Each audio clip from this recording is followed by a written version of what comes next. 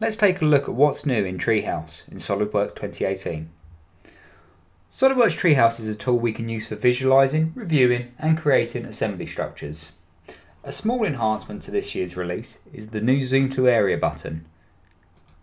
Toggle it on and it will work exactly as you would expect. Simply create a window around the area of interest and it will zoom into that area for you.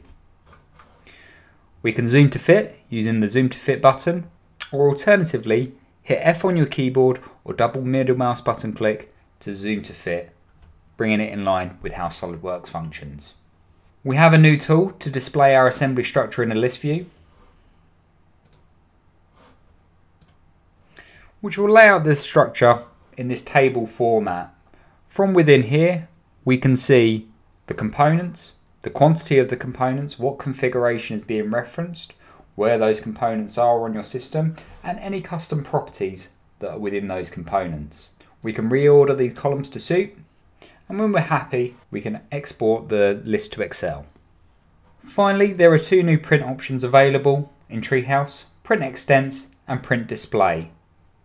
Before, Treehouse would print the entire assembly structure regardless of where you were zoomed in on the structure, now it will give you the choice to do either the extents or the active display on the screen. Switching back to the PowerPoint, we can now display the assembly structure in a list view. We can zoom to area.